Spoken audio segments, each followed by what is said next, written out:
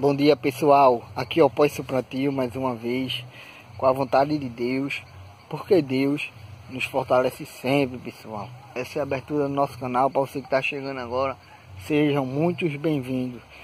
E hoje eu vou estar tá mostrando aí para vocês aí que ainda está por fora da realidade, é, tá perdendo tempo.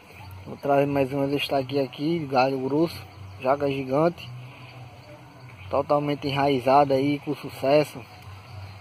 Hoje eu vou estar aqui mostrando a vocês essa belíssima planta, lembrando que nós estamos fazendo um clone de uma frutífera adulta que já produz frutos.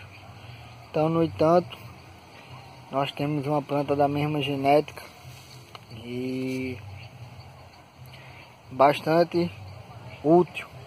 Então, como vocês estão vendo, eu, eu enfiei essa estaca aqui, como vocês estão vendo, no solo, do lado dos tomatinhos e já está começando a sair o broto.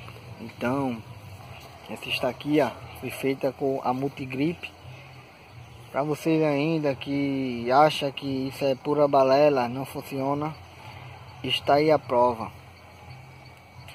É, esse estaquia está com aproximadamente um mês que foi colocado nessa terra, uma terra boa, bastante bacana.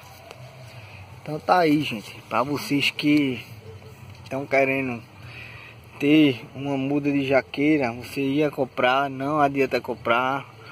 Melhor você mesmo fazer sua planta, sem ter lengo-lengo, sem ter mais, mais, mais. Aí está a belíssima planta, bacana. E é isso aí, pessoal. O vídeo de hoje foi só esse aí mesmo. Vou ficando por aqui. Fiquem com Deus e tchau, tchau, gente.